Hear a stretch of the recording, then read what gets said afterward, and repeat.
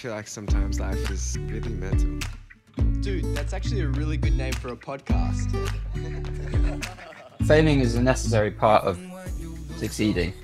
Failure is something that you have to just go through. If I'm also honest, like I, I'm driven by a fear of failure more than a need for success. Welcome back, beautiful people. We have had the most wild episode today. Before we get into it, make sure to share, like, subscribe, follow us at Really Mental Podcast. Today, we've got an amazing guest, Bruno Major, and we will be talking about the chaos of being an artist. I wanted to ask you, Will, to start us off, what is it like being an artist, and do you ever feel like you're in the chaos? In terms of the chaos of an artist, I feel as though there are definitely moments when it's really tough to talk about what artists have to talk about on songs. For me, it's, you know, about my deepest emotions, mental health, my anxieties, my fears. And some of those aren't pretty to write. And it's part of the chaos is the fact that for me as an artist, I derive a lot of my identity from what I do because the process of making music is just, I feel as though there's nothing like it in terms of translating an experience into a song. So you get that high that a lot of other things in life don't necessarily compare to. And on top of that, you're also balancing the fact that you want your songs to have a certain level of success materially or with metrics. So you, it's easy to lose yourself in that process and get away from what you started with, which was the actual creation of the art. I loved speaking with Bruno, and I think you're going to really enjoy this conversation that we're about to get into. We're really grateful to have him on the show. We're fans of his art, and we're really excited to get into this topic. So if you enjoyed this, then make sure you share it with a friend who could find value from it as well. And without further ado, we're going to hop into it and welcome our good old mate Bruno from England. Could you tell us a little bit about yourself, what you do, and what you love to do, and why? So, I am a musician, a songwriter, artist. I effectively write songs about my feelings and my experiences in life, and I record them and put them on the internet. And then I travel around the world and play them for people. And for some reason, my experiences and my diary of those experiences help other people to digest their own versions of those issues and experiences. When you first started with music, was it your intention to do that? It wasn't my intention, if I'm honest. I I always knew I, I wanted to do music because I was not very good at much else except for music and, and writing. Um, and it's the thing that I enjoyed the most. But I, I always thought I was going to be a guitar player. My goal in life was to be, at one point, guitarist in the world, which is obviously an impossible task and one that I did not achieve. I have to be clear about that. But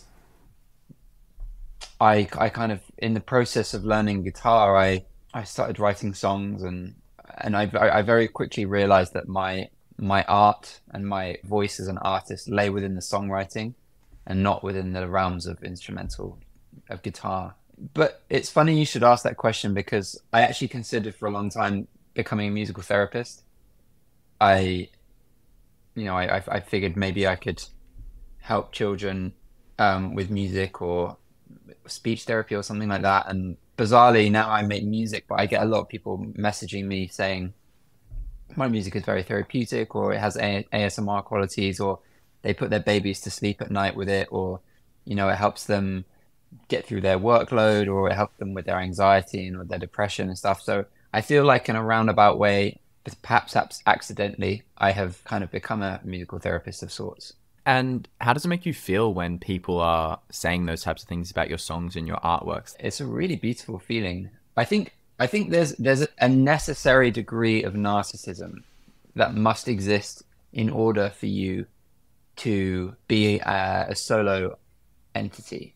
In order for me to perpetuate Bruno Major as a commercial concept, there has to be a degree of narcissism because I'm effectively talking about myself the entire time. I'm plundering my my thoughts and my feelings and my emotions, and I'm I'm presenting them in a form of art for people to digest. So, I I, I think without that connection to people and without without hearing what that music does for other people and how it helps them in their lives, I think it would possibly be quite a lonely endeavor. And it, if I'm totally honest, it gives me meaning in my life when I hear that. Um, you know, I've had people message me saying, uh, "Your music saved my life." The fact that there that there may be somebody who is alive right now that wouldn't necessarily be alive if I hadn't written a song, like that is crazy, and and it and it and it gives me a purpose and a and a and a feeling of um a feeling that I'm doing the right thing. You know, mm. I'm following the right path. It's a it's a wonderful thing.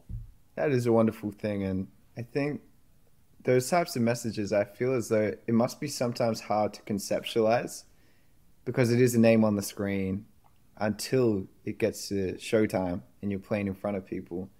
What is it like to play these songs that you've written in such a, a vulnerable and honest way to so many people? If I'm totally honest, the, the, the biggest period of therapy and catharsis comes with the writing itself Mm. I am not very good at talking about my feelings, bizarrely, and in on a conversational level.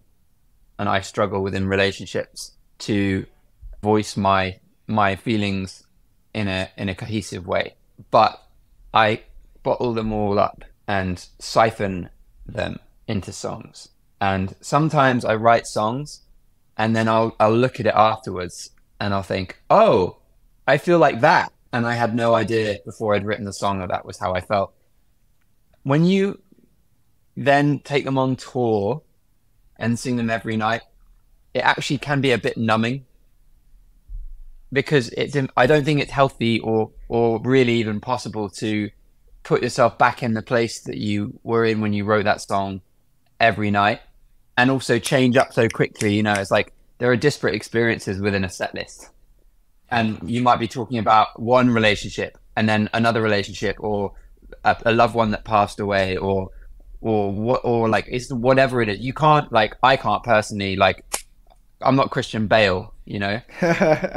What does like success look like for you at this point in your career well i'm definitely more successful than i ever imagined i would be on a on a kind of empirical level um I've always, I've always had a I've always had a very clear stance on on like success, which is I define success as having made a piece of art that I am proud of. Because if that is how you define success, you can't fail. Because everything that I put out, I'm proud of. And so, as far as I'm concerned with this third album, I'm so proud of it. I'm more proud of it than I am of any of anything I've ever done. And if I release it and no one listens to it, I'm still successful because I've done what I set out to achieve. I think if you define success as getting a song on the radio or getting this many streams or making this much money or whatever it is, those are empirical objectives that you can fail to achieve. If you get them, great, go you. But you might as well be selling Hoovers. But do you think failure is bad? No, failing is a necessary part of succeeding. I like hyper focus on things, and one of the things that I hyper focus on is golf. And an amazing stat: Jack Nicklaus is the greatest golfer of all time. He's got he's won more major championships and tournaments than anyone else, even Tiger Woods and all of that. But he's also the person who's got the most second place medals out of everyone. Because by necessity, he was in the position of winning the most during his whole career. So he failed more than anyone else. In order to succeed more than anyone else, he failed more than anyone else. I think that's a good lesson in life. Like failure is something that you have to just go through. But I'm, I'm, I, if I'm on, if I'm also honest, like I, I'm driven by a fear of failure more than a need for success.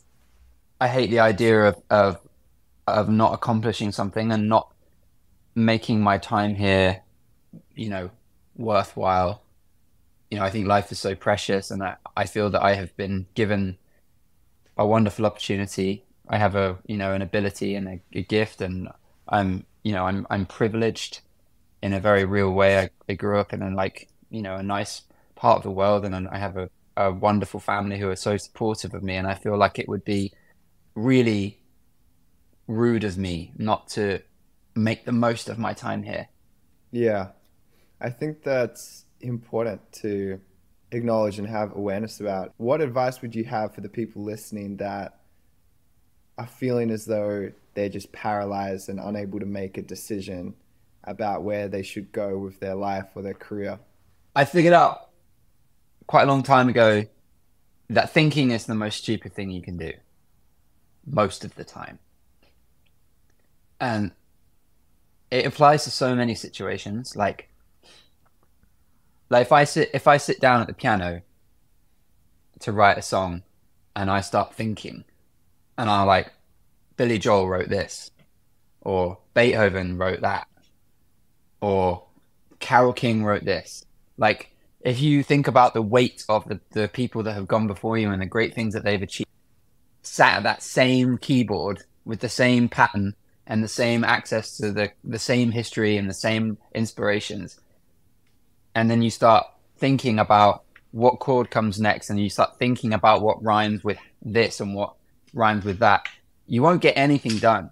But if you just sit at the piano and you just go, ah, and you let it calm out, like that's the only way that you that you can make something great is by deactivating mm. your brain and mm. activating your feelings. Yeah. And I and I feel like it's the same with life in general. Like if you overanalyze and you think about what's next, and you you can, you will be paralyzed.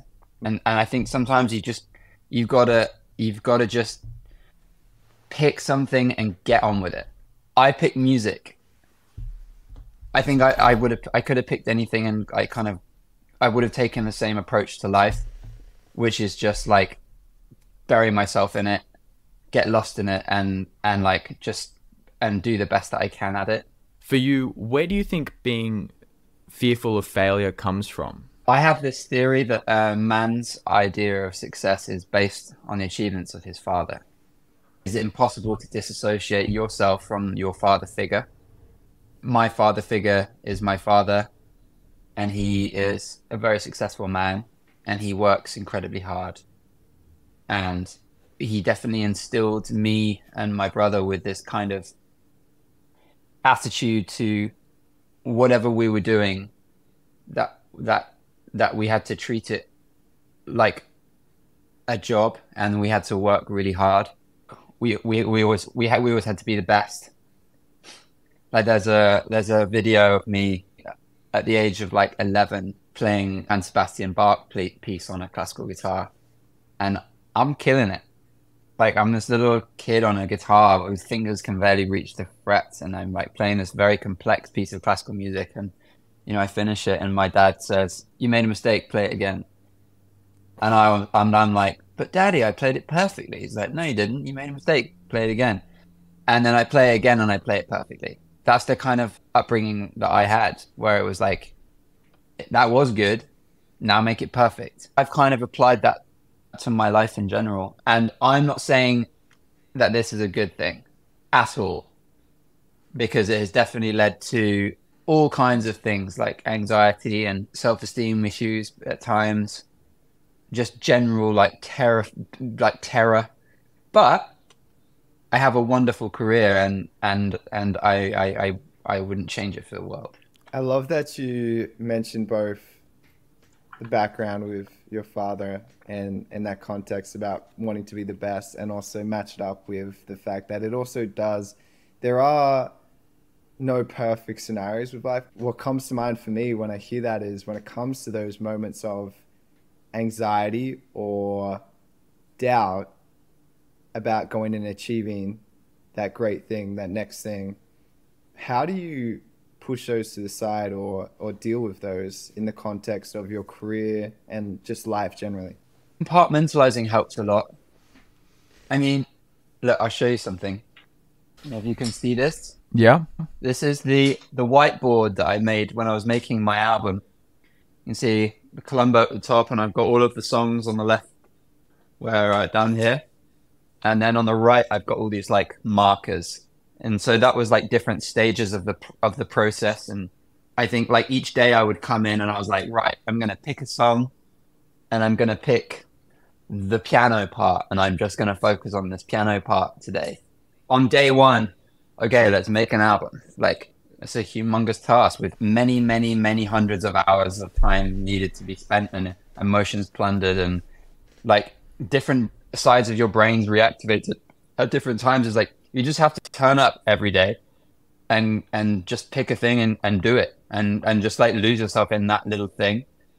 Maybe life's like that in general. Like if I if I wake up in the morning, I'm like, right, I've got to ring my insurance company.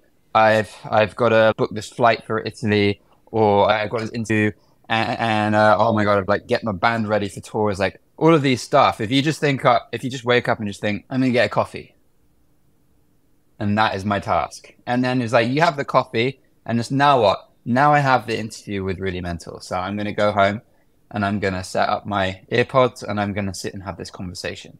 And it's like just do one thing at a time. It's like otherwise it, your brain just explodes. Yeah, that makes sense. Like instead of taking these big steps and overwhelming yourself, allowing yourself to take little steps every single time of the day to Definitely. stop yourself from really getting overwhelmed. I don't think anyone's perfect. No one's achieving everything that they're saying. We're just trying our best to get make every day a little bit better and try and do the best that we can to cope with the things that we've been through. Because I don't think anyone, the way we were raised, the people that are around us, I don't think people have ill intentions most of the time. I think people are just trying to do the best they can do with what they know, and they're just trying to really get through the day with what they were taught from people before them and people that are around them. Um, I wanted to ask you if you're okay um, letting us into your brain for a second. What are some of those thoughts that are keeping you up at night, and some of those things that you're like telling yourself or like being negative to yourself and can you get yourself out of that spiral? I think a lot of my anxiety revolves around time. I'm obsessed with time and like the passing of time and like being in a certain place at a certain time and and the knowledge that like ultimately everybody you love will, will die. And that that's really that's a really like tough one.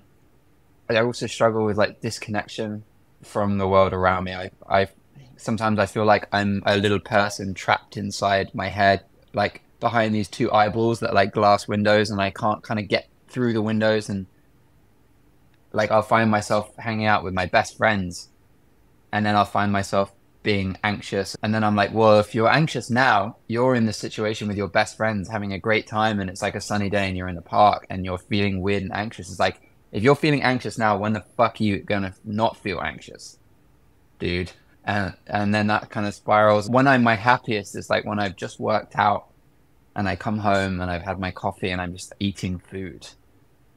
And then I'm like, are you literally an ape? You're, you're happiest when you're you when you've got endorphins running through your brain and you're eating food. That also goes down to like who we are as people. Like we actually are like animals at the end of the day. Like the basic necessities of life are what like we go back to to make us feel safe. Like eating, exercising, sleeping, like those are actually Yeah. the things that actually impact our brain health and the way that we feel, which is actually interesting because we think that all these external things will always make us feel great, but actually the most simple things actually make us feel better because they're what we need as animals at the end of the day. Well, that's a great point. Like, what's the brain for? People think brain. People think brain is to receive information, but the brain's the brain's main purpose is to ensure the survival of your body. Like genes rule everything. We are just an organism trying to replicate itself. So the brain's purpose is to make sure you eat and fuck and sleep and shit. Like everything else everything else is a distraction. And, and i think that's why for example when you take hallucinogenic drugs if you take acid if you take mushrooms you take dmt whatever it is it disconnects the survival instinct. Hmm. So it, it then enables you to receive all of this other information. It's like that's why people become so awake and they have these like epiphanies and you, they realize that we are the universe experiencing itself and that there is no such thing as self and that nothing means anything but that's great that nothing means anything. And that's also why people jump off buildings when they're on acid because their brain's not trying to keep them alive. It's like maybe that's why you're happiest when you're eating and you've just worked out is because you're you're doing what you're meant to be doing. Yeah. I think this is a really interesting conversation because we're talking about as well what truly makes us happy at the end of the day and what is living a fulfilled life. It does make me think when it comes to your music, Bruno, and the context of this album that we have coming up. How do you make sense of creativity after our explanation of the simplicity of us as humans? I mean, I think. I, I, okay, I, I think children are artists. If you give a kid a bunch of crayons and a bit of paper, they'll draw a picture. And I, th- I think that, that our society is in its fetal stages. We view the dark ages of people being, you know, publicly ha- public hangings and crusades and, and like drinking ale and all of these like dark stuff that went on and back in the day. It was like, we're still there. We're still in the dark ages. We're still at war. We still have racism. We still have borders. Like we have not figured it out. And I feel like the education system is a product of post-industrialist capitalist um, ideals that do not facilitate us being happy as human beings. And I think that the, the education system is designed to uh, redesign us and conform us to be good droids that work in society that get the, the little piece of paper that gives you a salary and and basically makes you a cog to work in a giant machine and i think that the the art is sucked out of us. And that's why when you give an adult a pen they will sign their name for the bill. Like they do not draw pictures anymore. And the only way that i have managed to create is by remaining a child. And i'm still a child in my head. It makes you really vulnerable. And but that's how i that's how i am a creative person. And do you think for this like upcoming album and stuff, what inspired you and made you want to be creative and childlike for this? this album's really interesting because i feel that uh covid was i went from being uh this the person that i created myself to be which was like the the musician who tours around the world who is successful and who is being validated constantly and then all of a sudden covid happened and it's like i wasn't that guy anymore and i came back to my parents house and i woke up every day and i ate like ham sandwiches out of my mum's fridge. And i actually remember looking at myself in, like in the mirror one day. I was like okay like if you're not that guy if you're not the the rock star standing on the stage and everyone's going yay like who the fuck are you? Like i couldn't even write songs in lockdown because i was just so like suffocated by the whole thing. It's like well you're that's what you do. That's who you are. You've assigned you've assigned your identity as a songwriter you've assigned your identity as a rock star as a successful guy whatever. It's like now you're not that guy. You're living in your mom's house. And so it's like i re- i literally f- returned to the child. I became the the 9 year old version of myself. I literally sat in my my old my old bedroom and i played video games every day. At the age of 32 and my mum asked me to take out the trash and i did it. And and it was this bizarre bizarre unnatural situation but also wonderful because it it forced me to to assess who i was and my identity aside from my own idea of myself and and figure out who i actually was.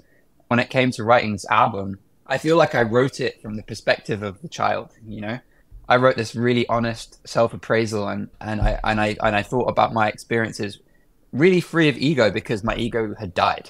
Yeah, that's a, a huge experience to go through at any time, let alone with a pandemic happening. How did you process all of those emotions when it comes to ego and identity? Was that just simply, it just took time? It's something that I'll always be processing. Going back to what we said at the beginning of this conversation, there is a necessary element of narcissism in order to do what I do because you're talking about yourself all the time.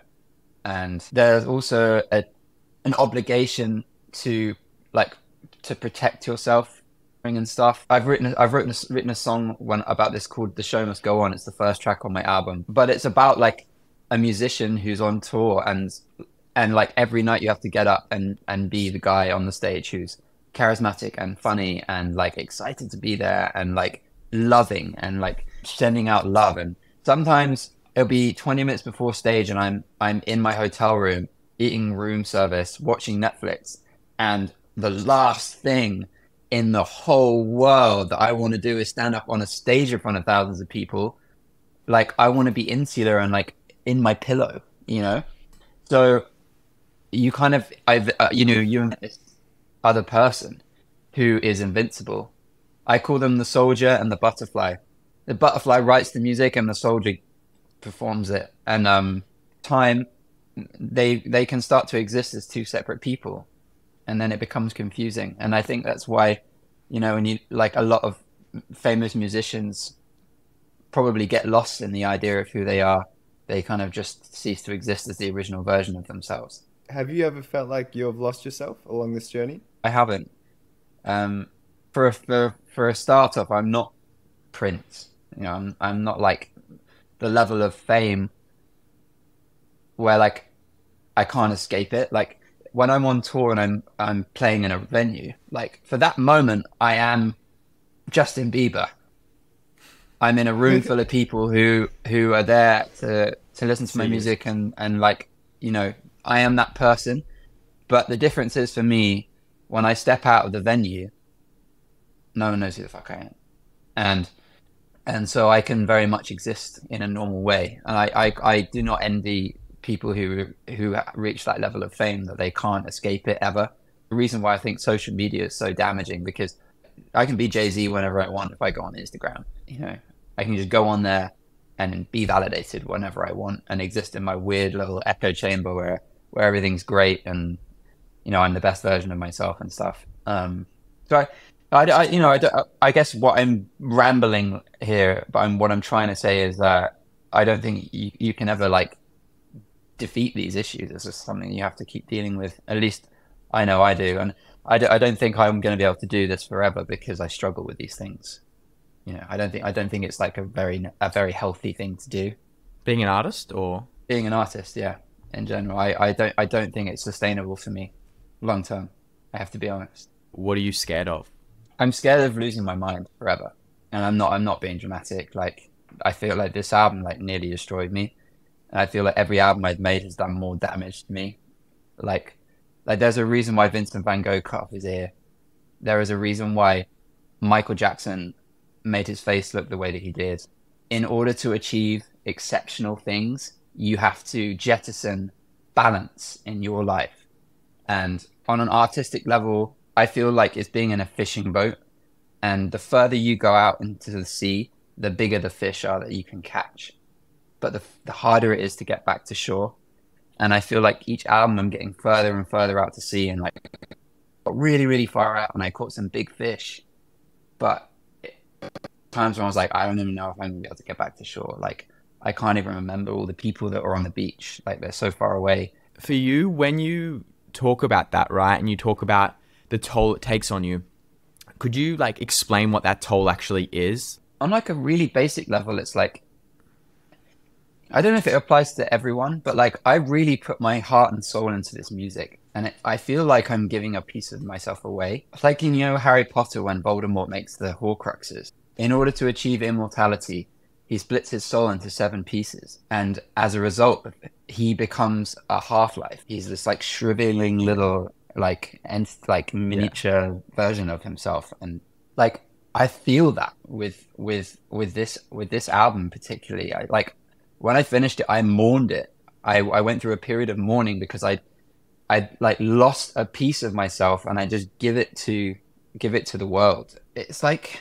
it's like you're you're living in like a you're living in a dream world. You're like you're making these you're making these songs and you're accessing this part of your brain that like that's not necessarily like stable or functional. It's like going back to the TV in like Stranger Things when they open the upside down, like you open that portal and shit comes out of it and you just have to learn to deal with it. How do you deal with it? I don't really, mate. I'm all over the shop. There are things that I do in my life that, that help me deal with stuff. I go to the gym every day. I'm really obsessive about it because it's like that is my little moment of order and routine. And I I bury myself in my work. You know, I like I, I work all the time and play play golf and I you know, I hang out with just like the most wonderful, crazy people in the world. And but yeah, I, I really, I, I, that's why I'm say, that's why I said to you to before. I don't think this is sustainable long term because it's like it's just it's a really unbalanced place to be. It's like I assign so much of my my like identity in what I do, and my mental health is is is literally defined by what I achieve musically. It's like if I sit down at the piano and I write a really great song, I am bouncing off the walls. I am like invincible, and I am like the happiest guy in the world. But like if I can't write, I like I have zero self esteem. And I'm like, oh well, I'm pointless then because you know, I couldn't write anything today. So what's the point in me? And that's what we've been saying. I feel like throughout this conversation as well is embracing the uncertainty that life brings and also embracing our fears because it's all we, we can do to keep moving forward and keep going to the next thing. I was wondering what is one thing that you learned from this album that you're going to take into the last one, which could be your final? Life defining. You know, I've been very dedicated to my my my journey and my my art and my craft. And i've always been reaching for something. And i feel like this is the first album where i've really i've really like grabbed that thing. So in a sense i'm just immeasurably happy and proud. And actually for the first time i've i've really i feel like i'm a piece because i've i've managed to to do something that i'm like really truly proud of. Do you think it's fair on yourself to create this art for other people to enjoy but lose yourself in the process? I don't make it for other people. In some ways, I was like, I don't think I'm important. I don't even believe in the idea of self. I think I think self is an illusion, and I feel very strongly that I have a gift and a purpose, and my purpose is to make songs. It's like that's why I'm here. Again, going back to what I was saying before, like in in order to do something that is exceptional, I do think you have to you have to like sacrifice things Tiger Woods is the great, like the greatest golfer of our era. There's no way that guy is balanced. You know, he had a full blown meltdown because he was so focused on one thing. Like every great jazz musician from the 40s was addicted to heroin. Charlie Parker spent 16 hours a day playing a saxophone and shooting up junk, and that's why he's Charlie Parker. If you if you want to be really well balanced and you want to be happy all the time, it's like that's awesome. And like i don't i've i'm yet to meet anyone who has done something truly exceptional and and and been totally at peace you know? It's not possible. I am an i'm an artist. You know i'm i'm an artist to my core. And i i really feel that. Like i don't give a fuck about anything else honestly so you, you're like you're a big, you know, you're a pop star. It's about how many albums you've sold, how many number ones you've had, how many Grammys you've got, how many tickets you can sell. It's like these things do not matter, and these things are not related to art. This is commerce, and I am concerned with art. And the byproduct of making good art for me is that I have had some commercial success, but this is not my primary objective. Yeah, that makes sense. Any advice you'd give people who are genuine artists that are finding that they're struggling the same way that you are? Be as kind to yourself as possible and recognize that being part of being an artist is making yourself vulnerable. And uh, good luck, and I love you because you're doing something really great. That's awesome. I really appreciate everything you've said. It's I can I can tell it's really honest, and I feel as though that's in line with what you've created here with the album. So I'm really excited for the world to hear it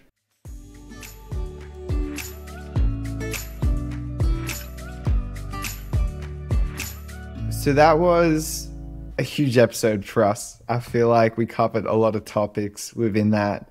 And I loved Bruno's authenticity when it came to discussing the trials and tribulations, his experience in life, and his complexities as an artist, both when making this album and also generally as a human.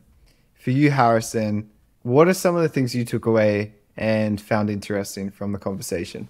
As you know, Will, I was I was getting into it. I really wanted to get inside of Bruno's brain and understand how he thinks. I found it really interesting to get an insight into a person who creates for the art, solely for the art, and gets consumed by the art, not by the fans, not by the press, not by the money, not by anything external, but solely by making the art. And I think it was really interesting to get an insight into that because he's so passionate about creating and so passionate about music that he's willing to lose himself in the process. And I found that very fascinating.